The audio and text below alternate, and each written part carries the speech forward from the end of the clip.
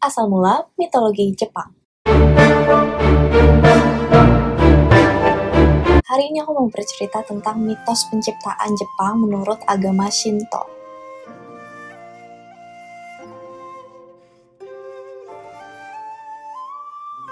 Seperti biasa, pada awalnya dunia itu didominasi oleh kekacauan. Tidak ada pemisah antara langit dan juga bumi. Pada permulaan waktu, bumi ini merupakan bola besar yang gelap yang ditutupi oleh air dan awan tidak bernyawa. Setelah sekian lama, langit dan bumi ini terpisah, menciptakan ruang bagi cahaya untuk masuk ke dunia. Dengan cahaya itu, sebuah tanaman kecil tumbuh lahir. Tanaman ini tumbuh menjadi pohon dan menjadi dewa pertama. Kunita Kotachi dari pohon itu, dua dewa lainnya pun lahir. Begitulah Trinity atau Tritunggal tertinggi muncul. Dan dewa-dewa tertinggi ini pun terus menciptakan dewa-dewa lainnya.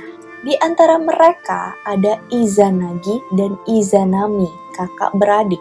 Izanagi adalah pria tampan dengan ketenangan yang baik. Kakak perempuannya, Izanami, dianggap sebagai salah satu dewi ciptaan ilahi yang paling cantik. Dewa tertinggi mempersembahkan tombak dari surga kepada Izanagi yang dikenal sebagai Amenonuhoko, senjata yang dihiasi dengan permata yang berharga dan kuat. Izanagi dan Izanami diperintahkan untuk membangun rumah mereka sendiri. Kemudian, dewa-dewi ini pun turun ke bumi menggunakan jembatan surgawi. Penasaran dengan bentuk dunia, Izanagi pun kemudian menancapkan tombaknya ke perairan samudra Ketika air-air ini hilang semua, tetesan terakhir menciptakan pulau pertama yang disebut Onogoroshima.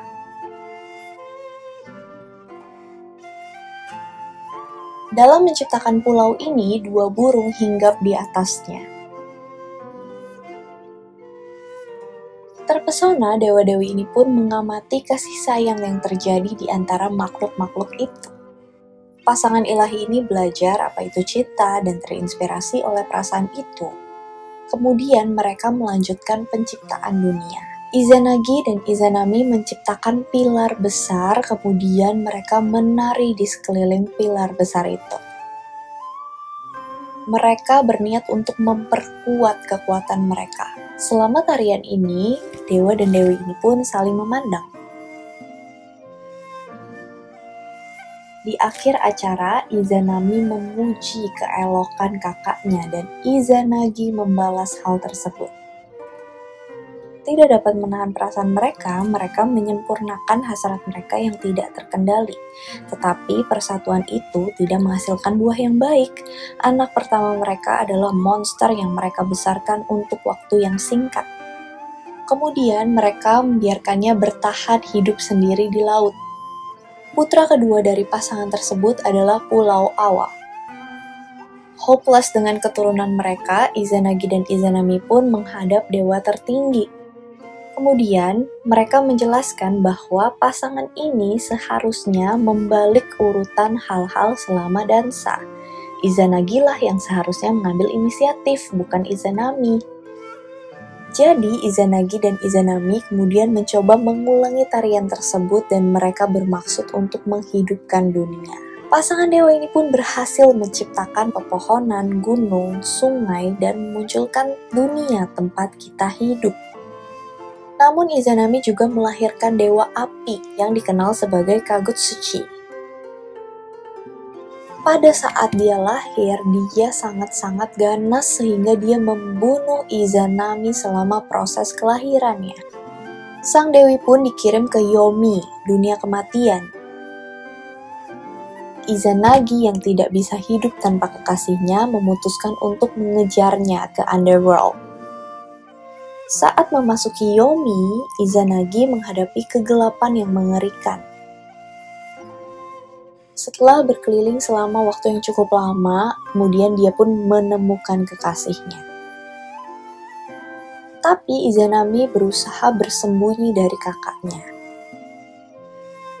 Dia mencoba memperingatkannya bahwa Izanagi tidak boleh menatapnya. Izanagi yang termakan oleh keinginan untuk melihat kekasihnya lagi, menyalakan api kecil. Melihat wajah Izanami, dia menjadi shock. Kecantikan Izanami telah berubah menjadi mayat yang membusuk. Izanagi yang tidak tahan dengan penglihatan ini melarikan diri dari dunia orang mati, menutup pintu masuk dengan batu besar untuk menghilangkan bau kematian. Kemudian Izanagi mandi di perairan laut. Saat dia melepas bajunya, banyak makhluk mistis seperti Onis dan yokai yang keluar dari tubuhnya.